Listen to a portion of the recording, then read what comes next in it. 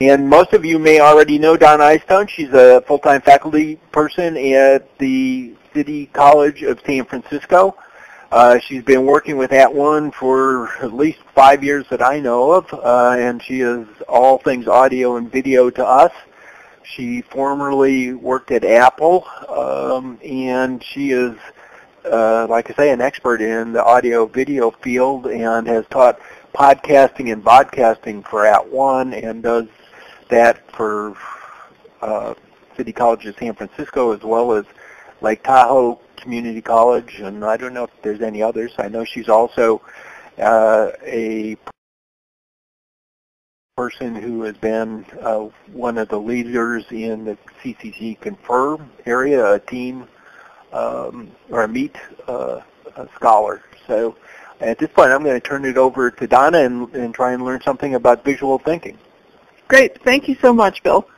Um, I, I am from the City College of San Francisco, and I'm coming from uh, I'm coming at you today from my home in Alameda, and I have some um, still imaging applications that I wanted to to show you about. I just wanted to get a sense. How many of you um, were in any of the pre prior visual thinking series of desktop seminars? You can just give a green check if you were in one of the visual thinking workshops from earlier. Good, a couple of you were. Thanks. Um, so in the in the earlier sessions, if you weren't at those, um, there was a, uh, several other people were talking about how, the hows and whys to use images in your courses. And one of the things that I wanted to talk to you about today was to give you a um, sense of some tools and why you might choose one tool over another. Um, and give you some tips on, on how to make your images work in whatever format you need. And so what I'd like to have you answer, and you can either do this um, using the writing right on top of this um, slide, and so you'll notice that there's some um, whiteboard tools um, just to the left of the slides. You can, um, you can click on the little A and start typing there, or just type in the chat room. Some of the um, some of the challenges that you've had or you'd like to have questions answered on today.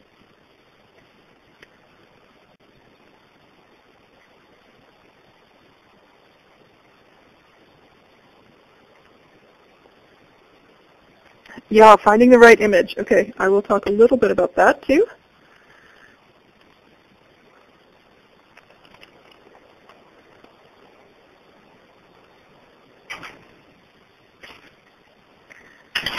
Okay, whether the images are copyright free. So whether you can actually use them or not. I have a good story about that too, uh, which I'll share later when we get to this topic.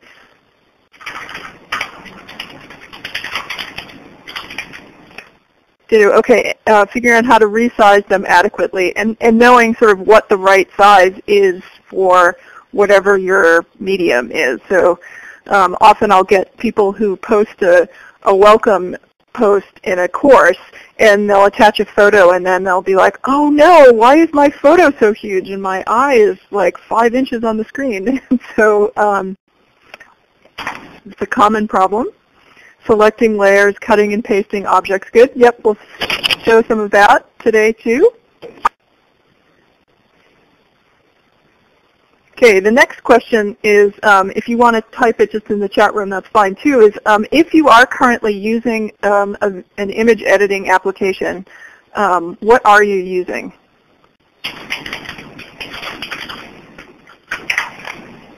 Paint Shop Pro. that is not even on my list for today anyway. Photoshop Elements, good. Photoshop GIMP, okay, that's on my list today. And as are the Photoshops. This Office Picture Manager, okay? That one I don't know. Okay, good. And then the lot PowerPoint, okay? And then uh, the last question, and if you could just, um, uh, if you could tell me if you're on a Mac or Windows normally, and then I just know which, because uh, I have both options to show you. And if there's no Mac users, then, okay, good, both. Windows, Windows, um, both. Okay, good. So that solves the problem. I will show both Mac and Windows, and then we can um, you can see some options, and those um, there's pretty good options on both on both systems, so you don't have to feel left out if you're on only one system. Um, and so if you haven't already seen um, the previous visual thinking desktop seminars, there's a link, and um, Bill put the link also in the chat room earlier. Um, uh, so you can go and check out those archives. Um, and I thought Lynn Strand did a pretty good job of talking about um, how to make um, how to make things visually interesting and how, you know why you want to would want to add some images into your course maybe or into your syllabus and how those could um, really kind of change the tone of your online course. So it's worth checking that out. And so today what I'd like to do is um, go over some um, free and cheap options um, that work only on Windows, only on Mac, some cross-platform options that you can use on either. And for those I'm going to talk mostly about Photoshop and the multiple kind of flavors of Photoshop that you get. And then some good online solutions, which um, which is a pretty interesting um, area. And I, I, could have added also um, mobile solutions. And if we have time, I can talk about some um, iPad um, image editing apps that I that I like um, and how to use those. But you know, one of the things I teach a course called Digital Media Skills, and it's kind of a bear to to keep this course up to date because it has a section on how do you use computers and saving file, what file format to use and all of that. And then it moves on to a graphics section. And in the graphics section, I have students download a 30-day trial of Photoshop so that they can try out Photoshop. And I am considering not having them do this because it turns out that, you know, the only way to get the free trial is to use the most current version and the most current version of Photoshop requires that you have at least a gigabyte of RAM and so that puts a bunch of home users out of the picture. And so anyway, I've been considering um, using some online solutions and when I show them today, I'll, I'll I'll tell you some of the reasons that some of the things you can't do with an online solution that you can do with a with an actual application on your computer. So I'm going to start with um, Windows, which if you know me, you think, why is she starting with? I, am a Mac user, and so um, the Windows options that I wanted to talk about today, and I would love for you, we're a small enough group here today that um, I would encourage you to chime in about other apps that you use, that you um, like to use, or if you think I'm misrepresenting any of any of the Windows apps, please feel free to interrupt. Um, MS Paint comes with your um, system already, so it's already something that's on your computer, um, and and so it has that benefit of of being there, um, ready for you to use. No install required. Um, it is quite limited in what what it gives you. Um, and so one of the things, one big distinguishing feature between all of these different applications is whether or not they can do layers. And so layers in images are, are very important to me because it allows you to build a complex image gradually over time. And so you can think of the layers as um, kind of transparencies that you put on top of the image. And um, so in Paint, you can't do layers, um, which which I find to be a, a problem. And it doesn't have a whole lot. It doesn't have any color correction. I'm going to turn on application sharing here so that you can see my desktop, and I'll and I'll show you um, both MS Paint and what I think is a better alternative, um, which is this paint.net option, which is also a free application, but it's not already sitting on your computer. And so there. Are you seeing my desktop okay? Yes. Good. Thanks, Bill. And you should know that when I'm in app sharing here, it's a little harder for me to um, see the chat room. So um, I'm going to try to keep my eye on it as much as possible, but if it takes me a minute to recognize you have a question or a comment, please be patient. And so um, this picture that you're seeing here with this bright orange chrysanthemum is in MS Paint. So this is the free application that comes on your computer. And so if you, let's say you have, I think the most common task that most people do with images is they have an image that they've they've gotten from either the web or they've gotten it they've downloaded it from their digital camera and they imp- and and they just say, "Oh, I'm going to take that file, whatever format it's in, and I'm going to post it into my online course, or I want to add it onto a web page, or I want to email that to my mother." And so, um, when you go to do that, the first thing you might find is that um, the size of the image is totally wrong, or that the format is not the best format. And so um, so Paint, MS Paint, free on your PC, works great for solving those two major problems that you might have every day. And so if you um, have a photo that's open um, on your computer in MS Paint, you can go in and um, I'm clicking the resize button here. And it allows you to resize um, the picture that you have. So it's not going to crop it or change it in any in that way at all. Um, and I'm going to put this to pixels so that I can see how big is this picture that I'm working with. So depending on the, the source of your original image, these, these numbers of your horizontal and vertical pixels can be quite different. Like you could download a little thumbnail and it could be 32 pixels by 32 pixels, tiny, tiny little image. And you say, oh, I want to take this tiny image and I want to put it up big on my web page. Well, it's going to look terrible because it has such a low resolution. And so you want to, um, ideally, you'd like to get pictures that are quite large, high quality, and be able to scale them down to make them a lower resolution so that you can email them or you can put them in your on your web page. And so if I were to leave this at this 1024 by 768, what's going to happen is if I were to take that and just put that into my into Moodle or Blackboard or something and do nothing else, it's going to just come and it's going to take over the whole screen. 1024 by 768 is a fairly large size image that's going to um, take over your whole page. The important thing is um, I've got this little maintain aspect ratio button checked. Um, what that means is if, if I don't have this button checked, I can go in and type any number I want in here. Um, so that's going to skew the picture. If I want to maintain the proportion, so I don't want this flower to be short and fat, I want it to stay exactly as it is, um, you're going to probably want to keep the maintain aspect ratio button um, checked. And so when I go in and change one, let me change the horizontal dimension. You'll notice that the vertical proportion changed accordingly. I didn't have to figure out what number to put in there. Um, so that's a useful tool.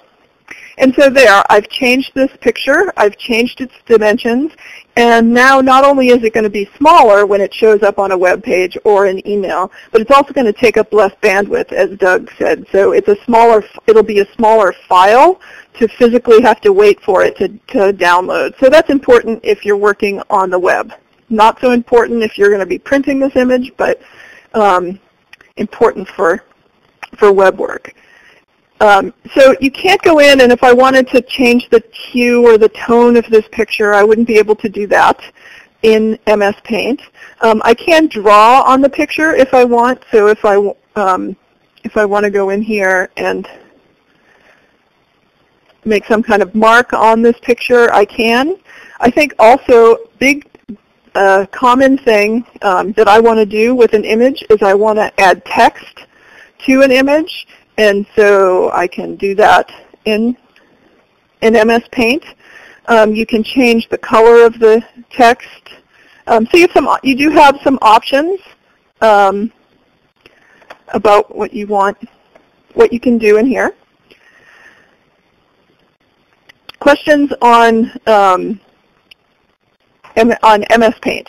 Anybody use this for for basic image editing? Not really. Yeah, it's pretty limited in what you can do. But if all you need to do is resize a picture, if if you leave with nothing else today, I hope that you leave with the idea that if you don't have Photoshop, you don't need Photoshop to do a lot of basic ta common tasks that you'll do every day. So let me um, let me show you. This is Paint.net. Um, the picture here that's showing you this photo of a lighthouse. Um, this is Paint.net, and um, the key. Uh, it's free. It uses the um, the dot it uses the .NET framework, and I have to tell you, I'm the wrong person to explain what that is. Maybe Doug, you can put that in the chat room. But um, so if you download this, it's going to, and, and, you don't already have the .NET framework installed on your Windows box, it's going to install that. And I think I think this is awesome. It's free, and it allows you um, to have layers and so let me show you let me show you what a layer looks like. This is a layers palette here, and um, it's showing me that what I have open is um, the picture of the lighthouse, and that's in the background layer. Now let's say, like in the last picture with the flower, and I just drew on that. If I wanted to get rid of the drawing, it's hard to do that. But if I had it on its own layer, it's pretty easy to make changes. And so I'm going to go in and um, let's add some text to this picture. So I'm going to use the text tool. And this is that as I run, I'm going to get a whole like, here's how to use each one of these apps, but you should start noticing that the tools and the placement of the tools and the palettes, it's um, very similar, no, no matter um, which one which application you use. So knowing a little bit about one of these applications makes it easier to um, use an, a different application. And so I'm going to, um, oops, I'm going to go in, let's see, and um, I want to, before I do this, let, let me go in and um, make some adjustments to this image before, um, before I add text or change it because I want you to be able to see more clearly. Um, so one of the things you couldn't do in um, Paint was that you couldn't go in and really change the color of that image or change the hue.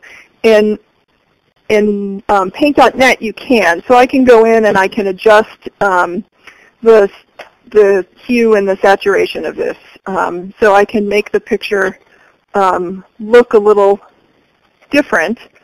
so it's very good. So let's say common use of this is that I go out with my iPhone and I take pictures. And I don't have a whole lot of control in my um, in my iPhone about the quality settings on how great my photos are going to look or if the color is right. Um, so when I import those photos into my computer, I can then go in and make these kind of color adjustments after the fact and hopefully try to compensate for some lack of quality that I might, might have gotten when I took the photo. And so this is something that I do with almost every image is need to go in and try to figure out, oh, can I, can I make my picture look a little better um, if I just, you know, try to lighten up the, lighten up the um, colors in it. And now, of course, I'm doing this real time here. I'm not necessarily making it better. I just want to, I want you to see sort of the scope of changes that you can make. So I can, if I want to make this really dark for some reason, I can go in and do that. Um, just like the other program, I can go in and um, paint right on top of my picture if I want. And I can go in and add a new layer. And you'll notice when I have this layer now, now I have a I have a transparency that's sitting on top of the lighthouse image. And, and what's cool about that is um, I'm going to go in and just make a little bit bigger brush here so you can see a little better what I'm doing. And I can choose what color I would like. Um, I can use this color wheel over here in the lower left, or I can choose a prefab color. I'll, cho I'll choose a, let's see, let's choose something you can see, a yellow.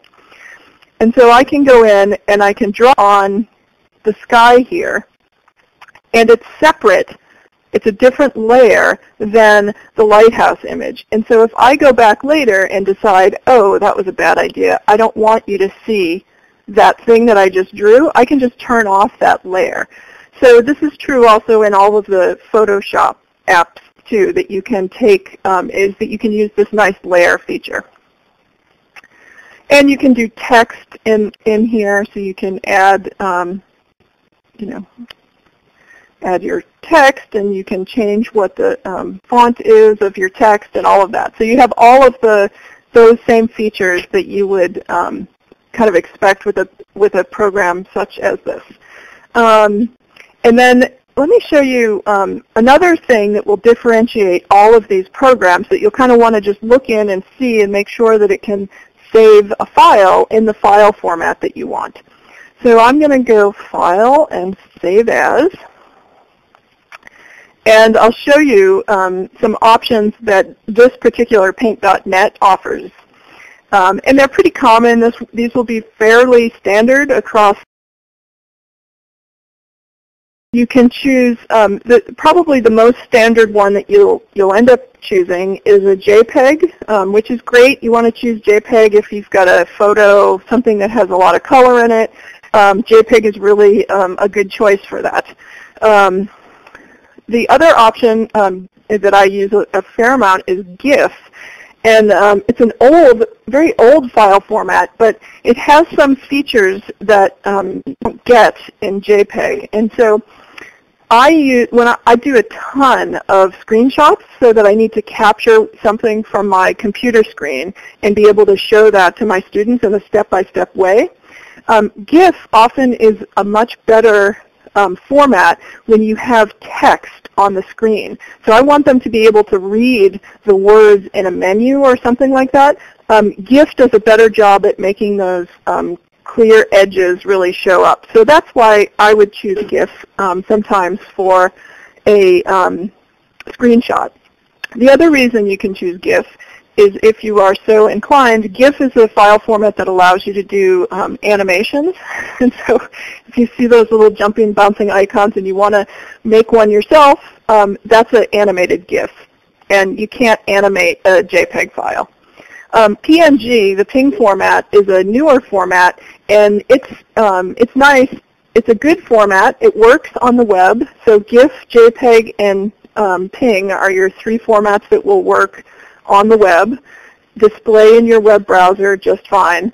And um, PNG is cool because it also um, allows you to have um, it, it, does it does it's kind of almost a combination of qualities of JPEG and GIF. So it handles text a little bit better than a JPEG would, and it um, also it allows transparency, which um, you can get a transparent area in a GIF and let me see, I think I have a, um, uh, do I have an image right here that's transparent? I probably don't. Um, transparency is great. So if you have like a, um, if you have a, a background of your web page, and let's say your web, for your course, your website has um, kind of a, a tan background behind all of your text. If you want to put a picture that has that looks like it's just kind of floating on the tan, you can't in in all of these paint painting applications, you have to make square edges. You have to have um, you have to have a canvas that is a certain size, and that's a square. You can't have a circular canvas. And so if you want a circular image, um, you have to use transparency. And so that would allow the background meaning whatever color your web page is to show through. And so you can get transparency with um, both the PNG and the GIF format. So just you want to check before you spend a ton of time editing an image um, to make sure that it's going to save the file in a, in a format that you want. Um, so questions on those. And some, somebody had a, okay, thank you for this .NET explanation. Um, and somebody was using, was it um, Paint, Paint Shop Pro. Um, does Paint Shop Pro have any feature that either of these two that I showed don't have? Um, that would be interesting for me to know. Um, just as a as a choice. It has lots of features. um, I know I didn't show a lot of, I mean, Paint.net can do an awful lot of things that I haven't showed either, but um, it's like Photoshop Lite. Yeah, I would call Paint.net sort of Photoshop Lite a, a little bit. I don't know. I haven't tried, but I will try out Paint Shop Pro though. Good. So for Mac folks, um, there, there's two good free options that are on your Mac already, um, which is iPhoto, and the if you're using a um, if you're using um, iPhoto to store your to store your images um, already, the newer versions of iPhoto have really good editing capabilities that the older versions of iPhoto don't have. So it's worth looking into, and I, and I will show iPhoto today. Um, and the same is true with Preview, which I think of, you know, for, for years, Preview has been this free app that comes in your Mac that you use to read PDFs. Like you can use a, you know, if you download a PDF, you don't need to get Acrobat. You can just open it in Preview. Um, Preview also has a lot of ed, ed, sort of simple editing tools built right in it nowadays. And so it's worth looking into that. Um, so I'm going to show um, I'm going to show iPhoto in the background here. I'm going to quit my um, parallels because it just is making everything crazy on my computer here. Um, and so I'm going to try to I'm running a I'm running Parallels, which lets me run Windows on my Mac, and um, in theory it's great, but um, it it's not it's not always as easy as it should be, and it's terrible over Confer here because it makes my um, it just seems to make my computer very slow. So I'm hopeful that now Windows has taken over my computer trying to think it's shutting down. I hope this is not going to... There. Oh, good. Excellent. I'm back. So let me show you, um, and then so two other, two good options of, um, yeah, Preview is great for taking a screenshot. Um, two other good low-cost options that um, that I have tried and people are using are um, Acorn and Pixelmator.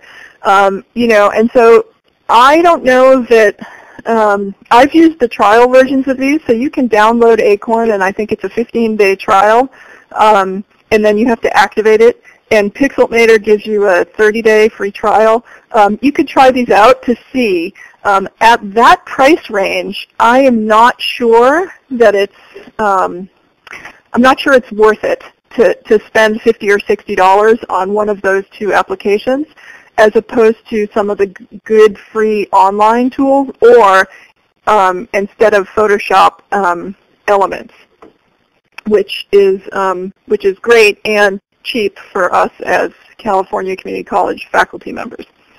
Um, so let, let, me, let me show you iPhoto. Um, share my desktop here again.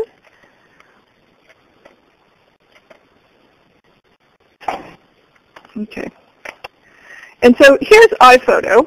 And um, what I have open is um, some images from my um, from my library. And so um, I use iPhoto to store all my images too. So not only do, do I use it as an image editor sometimes, but I also use it as a uh, an image organizer so that I can keep um, keep stuff together. Um, and you can make these albums of content and you can print books and you can do all sorts of other things that I'm going to show you with iPhoto. But here's a, here's a key part of iPhoto. Um, if you go into your iPhoto preferences, um, in the advanced setting, you'll, you'll notice there's a edit photos option. And by default, it's set to in iPhoto. But you can go in, and now I've I've re, I've done this before, and so my menu is going to be different than yours. Um, yours will say in iPhoto, and it will show in another application. It'll give you a button to choose another application. And so what's cool about this is that I can store my photos in iPhoto and edit them in iPhoto, or I can edit them in any other image editing application that's already on my computer. And so um, I'm going to first show you, um, I'm going to leave it set to in iPhoto now, and I'll show you the iPhoto editor, and then I'll show you how it, how it will link to, to any other app. And so when I have an image in iPhoto, I'm going to just click this Edit button at the bottom toolbar. And it'll bring up my picture. Ooh, that's pretty. Okay. there. So it'll bring up my picture of um, cupcakes in the, in the iPhoto image editor. And there's a there's some really nice, quick, easy solutions for um, doing things that are common, like fix red eye. Now this is not a picture that would have a red eye issue, but it's a, that's a very common um, it's a very common thing to need to change um, in a in a snapshot. And so there's a little button and it will take and it will look and it'll find, oh, there's red eye, I'm going to fix it. It does it for you automatically. And so no, no, only um, iPhoto is only Mac. So we're moved from the PC apps to now we're going to do a few minutes on the Mac apps and then we'll go cross-platform again.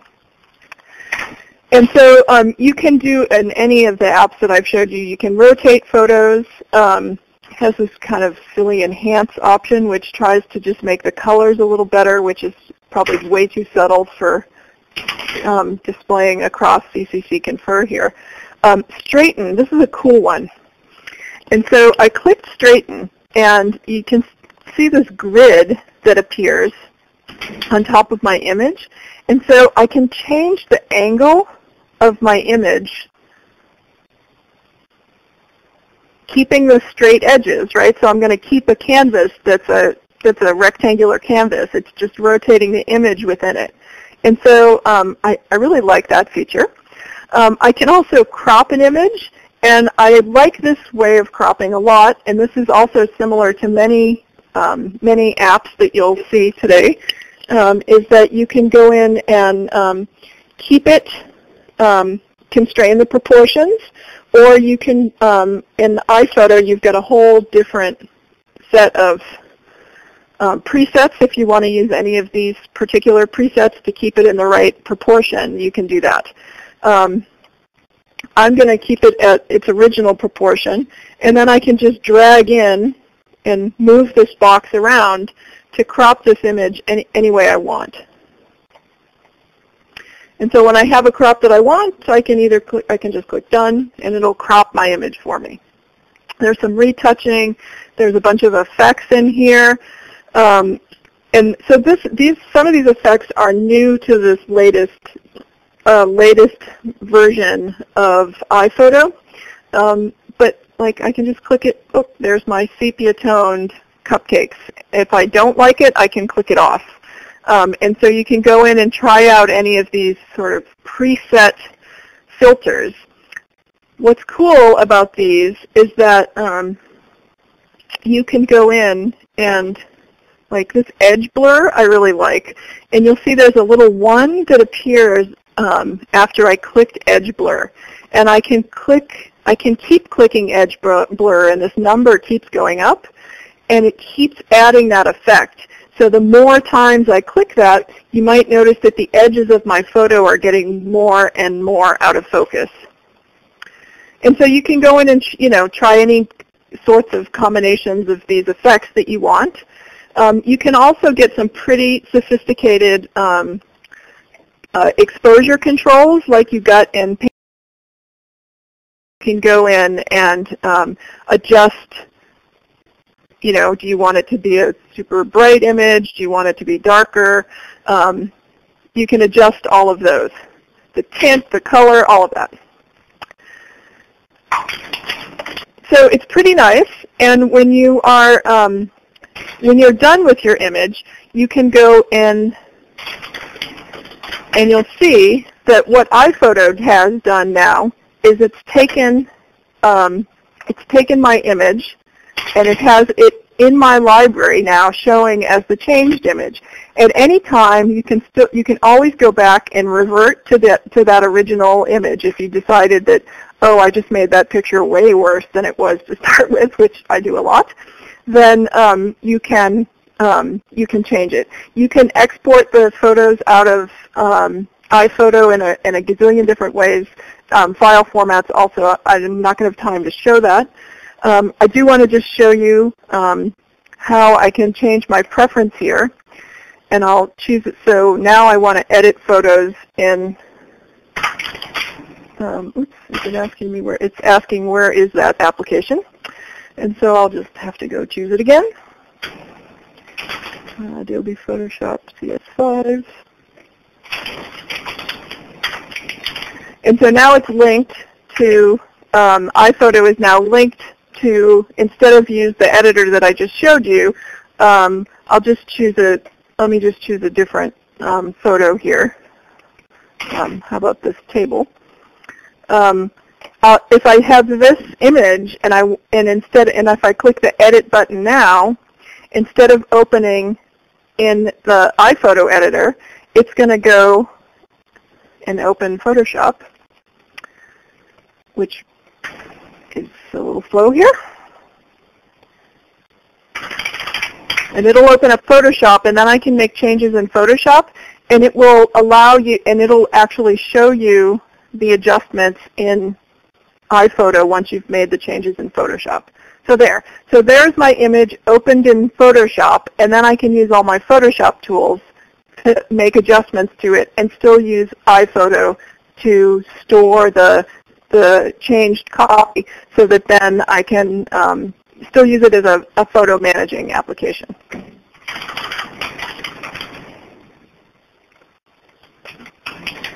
Okay, so I'm going to, efforts of time here, not show preview, but just let you know that, pre, yeah, preview will do screenshots for you. So if you, you don't need to use something like Jing, if you're on a Mac, you can just use preview to take a screenshot. Um, and then let's see, Photoshop. So some of you, um, there were some Photoshop users earlier that said they used Photoshop, some people that used Elements. Um, anybody using um, Photoshop Express? Had anybody tried the online Photoshop? Let me just see. Um, does does the edit in another app make it automatically non-destructive? Um, you can't. It does. It, it keeps a copy of it, so you'll actually um, have two copies of that photo um, in your library.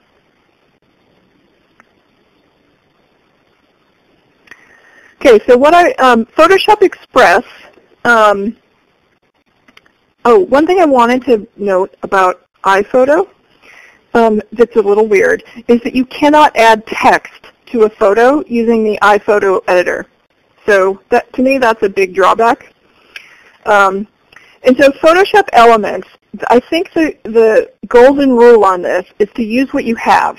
And so um, some people, for some colleges, they have um, licenses to the Creative Suite, um, which is the whole Adobe suite of Photoshop, Dreamweaver, InDesign, uh, all of their stuff. Um, and so if that's what your college provides you, then you get a copy of full-on Photoshop CS. Um, you should use that. That's sort of the top of the line um, image editing application that you could, could use. Um, it is way more than most of us will ever need to do, um, but it certainly adds has some nice tools um, available to it.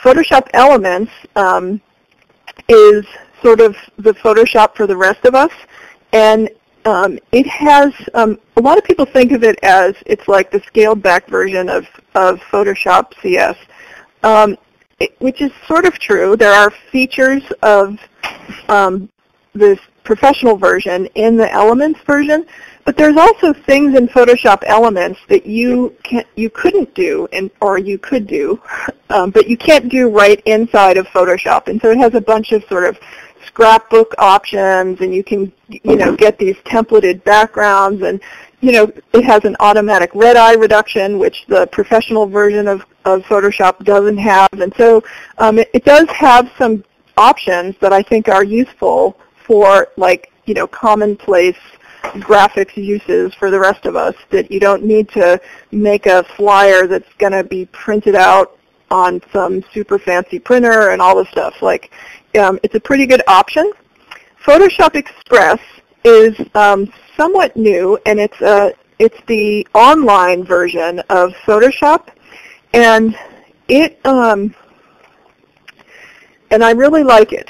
I, I will tell you that for me, the thing that I don't like about it, and I'm going to show it to you in a second here, um, the thing that I don't like about it um, is that I, I like, um, how do I explain this? So there's, you have your image, and your image sits on um, a canvas. You don't get to play with the canvas in any of these applications that I've shown so far, and you won't get to do that on um, in within Photoshop Express also.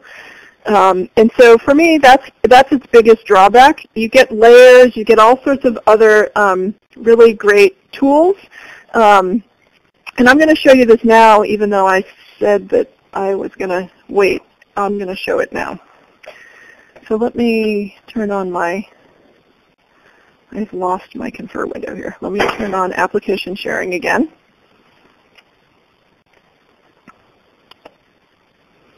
And this, I'm going to move this, otherwise I'm never going to get back. And so this is, um, I've opened up, um, I went to Photoshop.com and I got to there uh, in my web browser. So this is not an application. I've downloaded nothing. This exists on the web. And um, this has um, gives me the option of using my online library so you can store your photos in their online services. Um, I can upload a photo from my computer right now if I wanted to do that. Um, or I can just go and work. I'm going to just choose one of their sample photos for the sake of time. Um, and so um, you can see their tools here. Um, and let me move this, a little smaller so that you can see a little bit more of the tools. Um, but they have all of the tools that you might expect from a, a, sort of scaled back version of Photoshop. The interface is much different than Photoshop. And so this is the reason that I haven't just switched to it for my own classes is because I'm really trying to teach students um, some basic file management skills um, and Windows and all that stuff and how to use applications before they actually go in and start making creative work. And so for me, the fact that the interface is so drastically different from Photoshop online to from that to the actual application, for me that's a that's a deal breaker. Um, but you can do a lot of things in here. I can change the exposure, um, and it'll, you know, it'll show you a preview. Again, this is doing this all online. Um, I'm not doing this on my computer, so this is eating up bandwidth by doing this, but it's pretty fantastic. Um, you know, it has these touch-up tools. It has some of the same tools that you would see in Photoshop itself, but it doesn't, it won't let you add canvas to this image. It won't let you, um, it'll let you resize it, but, um, you know, I can crop and rotate, so um, it has that also that same nice straighten feature where it'll adjust the image and put it at an angle if that's what I want. And it lets you save the files. And so this was this is also key, right? Like how how can I save the file? And so I can take the um, file, even though it only ever existed online, I can take it and I can save it and save it on my desktop. And um, so it's a it's a pretty nice way to um, to edit online apps if you're like looking for something for your students to be able to to quickly um, get a feel for Photoshop, you can do that. I am running very long here, so I'm going to try to um, show a couple of things here in um, Photoshop, even though nobody really um, is asking questions about these things. But if you have specific questions about specific techniques, because I, I would, I can show you some things, but I haven't shown you finding images and I haven't showed you anything about selection. Let me show you quickly about selection. Um, and so, so, for me, in in most um, challenges, this what you're seeing now, this is Photoshop CS. So this is the full version of Photoshop um, that I'm showing you. And um, it has its toolbar and all of the, you know, it's got hidden tools under other tools, full featured, um, hard to use, um, not a, you know, very steep learning curve. You'll probably only ever use, you know, 30% of what's possible in this application.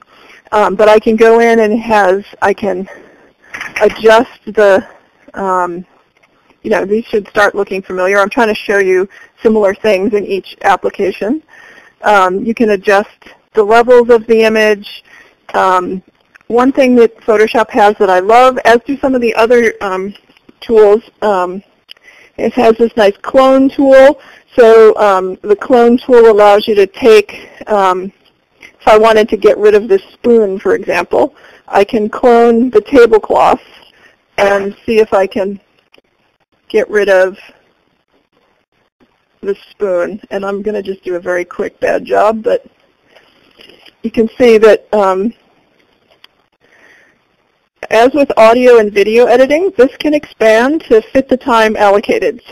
So, so uh, give yourself some time to to work with these. Um, work with images if you're going to start changing them. You know, and often, like, you know, you might not want to remove the spoon from the table, but a very common thing that I have had to do is somebody has pictures from around the campus, and there's graffiti on the side of the building, right? And so I can go in and Photoshop and get rid of the graffiti that's on the side of the building. Or there's a big no parking sign that's kind of wrecking the mojo on the beautiful picture, and so I can try to go in and edit out the, the sign that, that is distracting. Um, and so the, the um, so with selections, um, selection is um, crucial to, to working with images. And in Photoshop, you've got a ton of choices. Um, you can use, and I'm not sure, do these marquees show up over Confer? Are you seeing the little window here that I've Yeah. got selected? Yes. Okay, excellent. Um, and so you can use the, you know, make a rectangle. You can do a, um, an ellipse. You can do, um, and any of these tools, if you hold down um, the Option key, you can go um, from the center out, which is sometimes helpful. Um, and if you hold down the Option and the Shift, you can constrain yourself to um, perfect circles or perfect squares instead of ellipses and elliptical circles and all that. Um, Photoshop is um, available on both Mac and Windows, so um, you can get the the version that you that works for you. Um, the so those are basic selection tools. Um, I want to just point out that in the menus, um, you, you get a ton of options here. um, but one of the things that I do often is um, I make a selection and then select the inverse of it. Um, because sometimes it's easier to select the thing that you don't want and then select inverse than it is to try to use one of the other selection tools to um, to select the, just the part that you want. Sorry, that was not very clear. Um, but sometimes just, you know, select the opposite of what you think and then use the inverse. Um, so there's a bunch of tools. The magnetic lasso is kind of a cool tool um, that you can use and you can so, um, click on your image and I don't think this is going to come across clearly, but it tries to hug the edges of pixel changes. And so um, I don't have to be very precise about my dragging this around the table, and it's going to try to follow the table edge um, and making a selection here. And I'm going to just close it, even though it's not making a right selection. But it, made, it did a pretty good job of selecting the edge. Um, the other thing that's nice to know about selections in Photoshop is that you can um, modify the edges of your selection. Um, and there's a there's a whole there's now a whole million different ways to to do that. But this is showing me what I have the area that I selected, which was part of the chair and the side of the table. And you can go in and try to um, adjust the edges so that um, if I'm going to turn smoothing way up here, so it kind of makes it a little softer which can be, instead of if it's all the way down, it looks like somebody took a pair of scissors and just hacked it away. And so um, you can play around with a lot of these um, feathering and just different ways of smoothing images, which um, works really well if you're trying to make a collage where you're putting sections from one image together with sections from another image. Um, you know, the telltale sign is, does it look like somebody just did it with a pair of scissors? And so, um, a couple of people wanted to see you use the pen tool to select uh, something. Um, meaning this pen over here? I assume they Um, refer to it as the pen tool. Yeah, so the pen tool, uh, not how I ever make a selection, but I will try here. Um, yeah, so the pen tool is one of these um, tools that is, uh, I, I think of more as from the illustrator side of the house, where the pen, um, I don't, can you even, I don't think you can see, can you see this pen tool Yeah. making the curve? I can. You can. Oh, good. Great. So it makes these curves, and so you can you make points along. You manually go in and make points along the area, Right. um, and it draws lines between them. But then you can change it so that it's curves, and so you can make these um, selections like this. Um, I I don't use those. Use it. So um, I'm I'm not the one to to tell you much about it. Um, I'm going to stop this sharing for a second here and let me just see what else we get here because we're running out of time. So other options for online things that um, that I use that I like um, is Jing, which a lot of people use for um, just to, to make movies, and they make these little screencasts with them. You can also use it to take still images.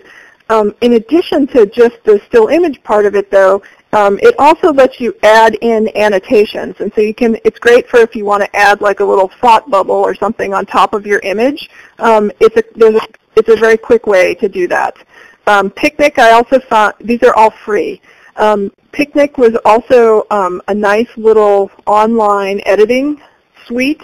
Uh, it doesn't quite have the same options that um, the Photoshop online suite has, but really useful. Um, Aviary I really like because um, it's an online tool. It allows you to use, um, uh, you can have layers in your image, and it's it's extra cool because it allows you to import your um, Photoshop document. So it'll take a .psd file and it'll open it up and it'll and it'll preserve all your layers, and so you can continue editing um, editing online if you want. And so um, I, I like it. They also, by the way, have fantastic. Um, they have a fantastic audio editing application that is also online. So um, I would say they are one to watch. Um, and um, the Pixel has also um, allows for layers, and so um, for that alone, I think it's a um, it, they're worth checking out, and they're free.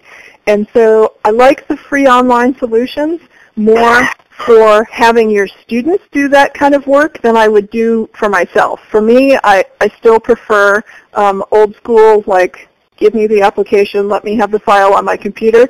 Some of these online services um, make you upload the photo to them first, and so um, like Picasa does that. So you have to upload your put your photo in Picasa, and then you can edit it in the Picasa editor, um, which is also a good editor too. And if you're already using Picasa to store your photos, it's an awesome it's an awesome option. So um, I'm going to stop here because we are at 12:58, and um, take some questions and and find out if there's um, one. Oh, you wanted to know about finding images. So let me know if I should do that or if we should talk about something else.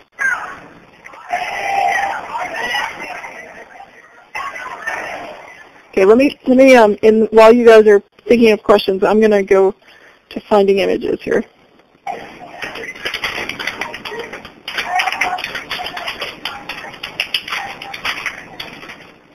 Okay, so if there are no other questions, then um, I'm going to uh, let you know.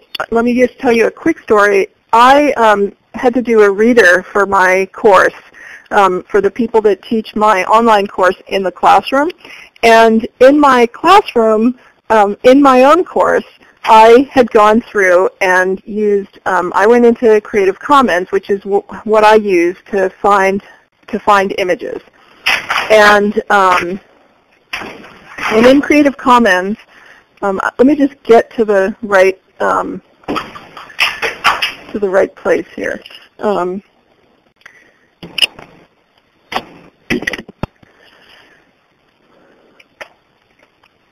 and then I'm going to turn on app sharing again so you can follow me here.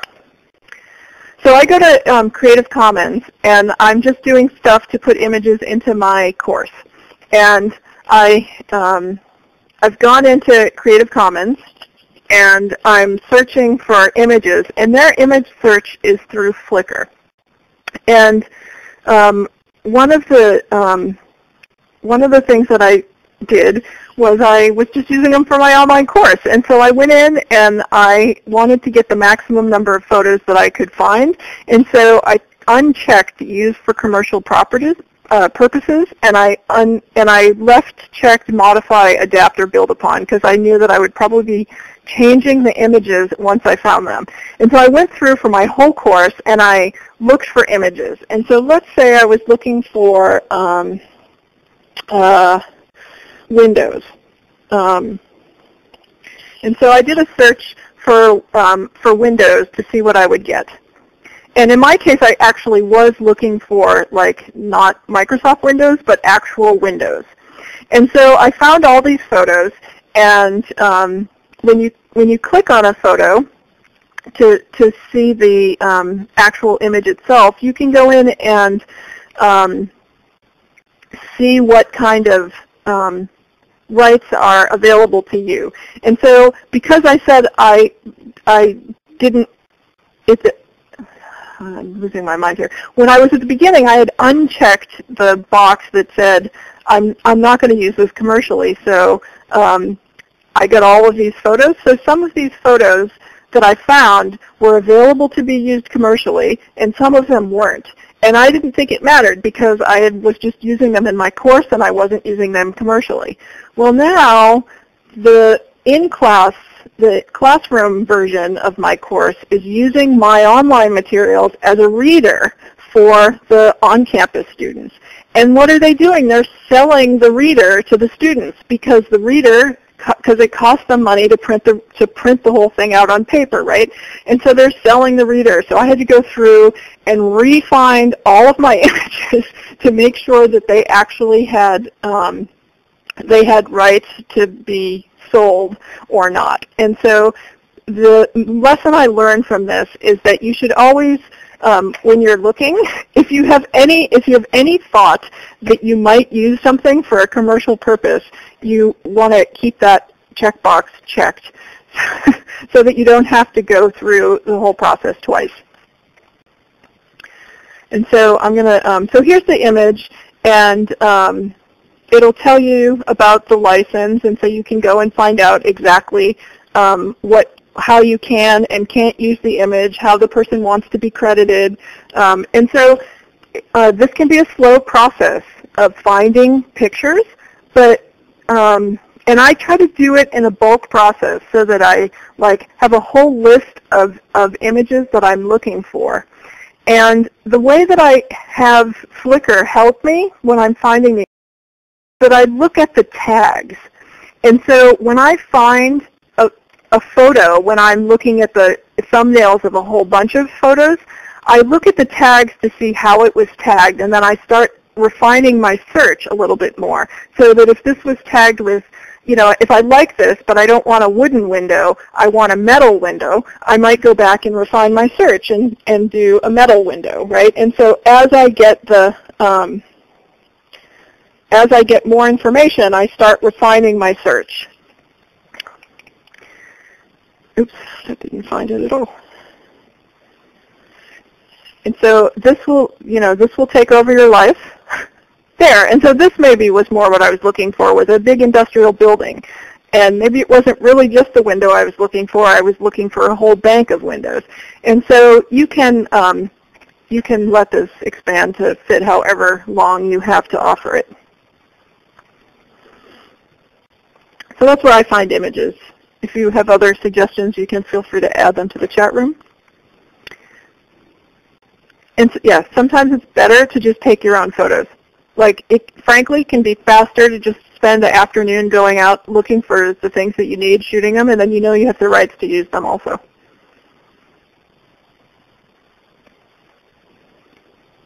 All right. So there's some good options, um, and it's anywhere from free to, you know, $600 options. Um, but not everybody needs Photoshop. People use Photoshop as a verb now, like I've just Photoshopped something, and they may or may not have actually used Photoshop. They just mean they've used an image editor to, to alter the image. And so if all you're looking to do is resize something, then you know MS Paint is is totally adequate for that, and iPhoto on the Mac would be totally adequate. Um, Illustrator to Photoshop, Illustrator works in vectors, um, and it's more, much more um, of a drawing application than Photoshop. Think of, um, you can draw in both in Illustrator or Photoshop. Um, Photoshop really works better with rasterized um, images as opposed to somebody who's drawing an illustration right? They're making a, a logo that they want to be able to scale up to the size of a billboard or they want to be able to use it as a button on their web page. My dad uses Illustrator, but he, because he can draw. I can't draw, so I use Photoshop.